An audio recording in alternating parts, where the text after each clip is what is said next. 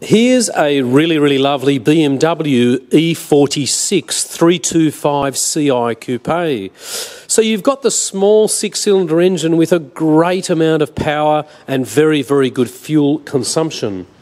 Sapphire black metallic with beige leather interior, automatic, cruise control, CD player, a really nice set of factory BMW alloy wheels. And look, 185k since 2002. It's not that bad when you consider it's a 12 year old car. So cars do 10 to 15,000 kilometres per year. I mean, have a look here. You'll see how nice the interior is. Leather is sumptuous. It's not all cracked and worn like a lot of these old bombs are that you see on the internet.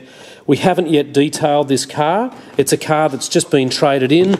Uh, growing family needed a four door car because the, um, the mother uh, was having a child in around about two weeks. So, look, it's not a car that's free of little tiny marks or scratches. Um, that even looks like it's got the electric set up for a tow bar.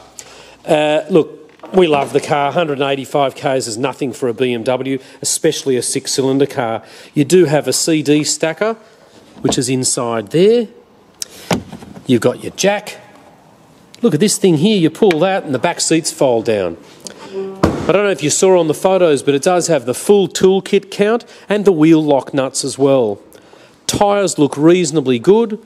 The wood grain inside is not all milky and not all scratched. And it does drive very well. And we're going to start it up, obviously.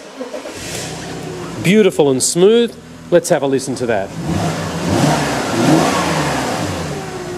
As you'll see here, it doesn't blow any smoke, it doesn't leak any oil as far as we know, but the great thing is we've got a really good mechanic down the road, checks out all of our cars, and look what we have here, electric seats with memory and factory sunroof. These are some fabulous options that everybody wants.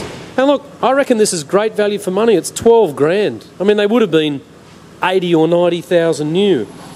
Now, we're called the Oldtimer Centre. We're down here in Marrickville, New South Wales. We have a really lovely selection of around about 70 cars on the net at the moment. We specialise in slightly older cars with good old fashioned service. My name's Richard, and you can speak to Philip. We're open every day except for Sunday, which is appointment only.